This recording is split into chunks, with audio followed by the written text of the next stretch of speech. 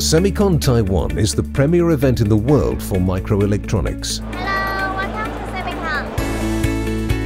The Dutch pavilion is one of the largest at this exhibition. Ten companies present themselves here. The Semicon in Taiwan is uh, an excellent exhibit, an excellent fair for uh, Dutch high-tech uh, systems and materials, the top sector. Uh, in the first place because Semicon is a very, very important part of the Taiwan economy. We have very strong ties with this uh, the industry over here and we noticed in the previous years that this is an upcoming and even stronger affair than we thought it would have been. Our goal here is to find new cooperation with Taiwan company, companies, but also with other semiconductor companies who are presented also here, uh, together with our Dutch partners, gathered in the Holland pavilion.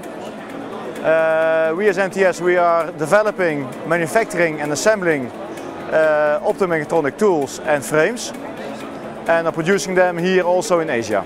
This year's delegation of Dutch companies is the largest yet at Semicon.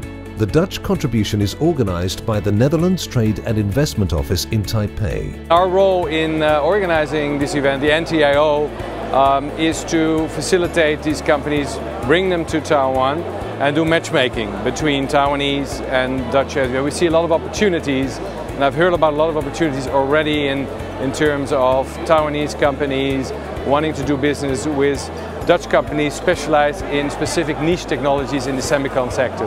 I have to say that the, the NTIO really prepared this matchmaking well.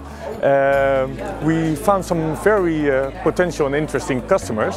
But the good thing is, and that's always such a surprise during such a, a matchmaking like this, that we also met some uh, actually unexpected companies that are, have also interest in our technologies. Uh, we were also able to meet with them, have some conversation with them and also uh, introduce our product uh, profile to them. The purpose of this matching to me is to find a new product in, for our product, current production line. So it's a very good chance for me to meet the Dutch company here. Maybe we have a very good opportunity to work together in the future in Taiwan and China market. The Dutch Research Institute, TNO, signed a collaboration agreement with the Taiwanese Metal Industries Research and Development Center. For many companies, contamination control is a headache. They don't really like it. TNO, we have 50 years experience in this field and we help them to show to their end customers that what they deliver to end customers is according to specification regarding uh, this ultra cleanliness.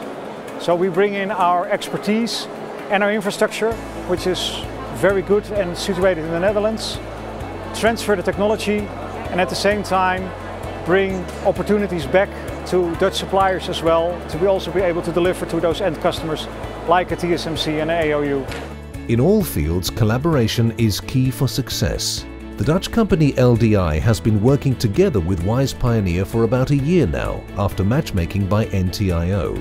We decided to work with a Taiwanese company because our product, our system, uh, laser direct imaging for PCB uh, industry focuses on the PCB markets and 90% of that market is in Asia. So uh, having a local partner that can deal with the Asian market uh, deal with uh, work as a, an Asian hub for service and for sales was of tremendous importance for us as a startup company. Semicon was a success for the Netherlands.